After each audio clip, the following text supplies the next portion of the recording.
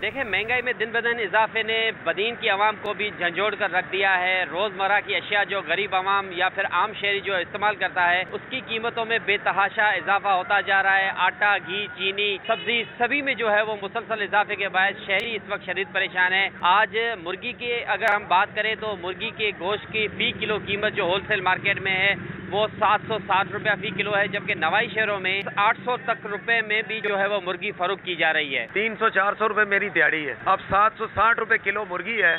हम पाँच बंदों की फैमिली है उसके लिए हम कितनी मुर्गी लें हर चीज इतनी महंगी हो गई है सब्जी महंगी हो गई है राशन महंगा हो गया आटा महंगा हो गया दिहाड़ी मिलती है पाँच सौ रूपया अब उस पाँच सौ रूपये में क्या हम आटा खरीदे शहरियों का यही कहना है की अब तो एक वक्त का जो है वो खाना भी मुश्किल हो चुका है यहाँ पर इंतजामिया या फिर मार्केट कमेटियों का कोई हमें किरदार नजर नहीं आता जिसके बायस रोजाना की बुनियाद पर महंगाई में जिला बदीन में भी इजाफा होता जा रहा है